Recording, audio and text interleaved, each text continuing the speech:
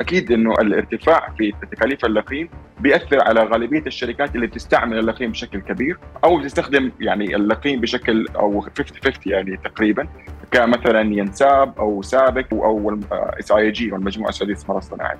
بعض الشركات بعيدة عن impact هذا زي مثلا شركة أفكو أو سابك المغذيات الزراعية.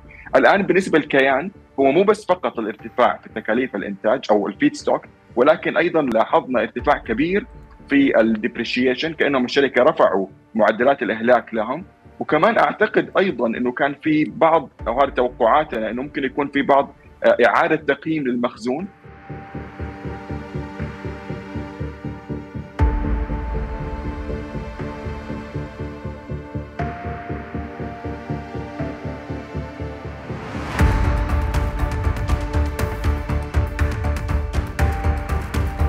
منتجات انخفضت بحوالي 20 إلى 25% across منتجات كيان.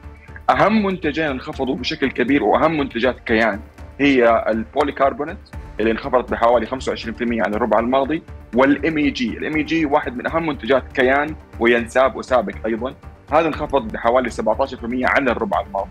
المشكلة إنه في ال MEG بالتحديد إنه في ترند هابط من فترة طويلة يعني كل فترة بحقق مستويات أدنى.